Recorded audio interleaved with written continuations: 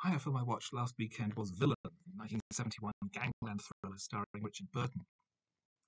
It's the story of Vic Dakin, the uh, very down to earth, believable uh, king of part of London's underworld, who is uh, in the midst of engaging with a, an armed robbery attempt with the participation of one of his competitors. They uh, plan on robbing a major plastics factory in uh, outside London, but uh, inevitably things go awry, and Dakin's own personal life also becomes highly involved. His close relationship with his elderly mother and the ambiguous relationship he has with uh, a young man named Wolfie, played by Ian McShane.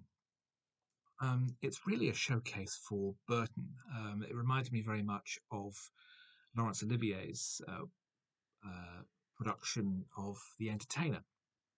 Uh, seeing the way that theatre was going in the 1950s, with the angry young men coming in with kitchen sink drama and a much more realistic, grounded theatrical uh, device, he simply asked one of its leading proponents to write something for him and made The Entertainer a, a very dark story about post Suez, post war Britain.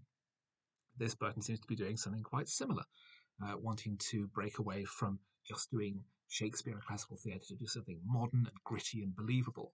Dakin is a very, very believable gangland leader. He lives in a uh, suburban house. He lives with his mother. He has very ordinary tastes in many ways. Um, the fact that he's also the kingpin of an underworld scene is a brutal sadist, and um, the uh, the robbery goes off fumblingly badly, but the reasons it goes wrong are completely believable and human error. And you can imagine that should a real movie style heist try attempted to be perpetrated, this is how it would go. It would be this badly handled. Um, it does have a few issues in terms of its story. It does feel a little bit like a hangover from something like Get Carter, which was released the same year, and the more grittier early 70s uh, British cinema. It doesn't feel like it's wildly original on those terms.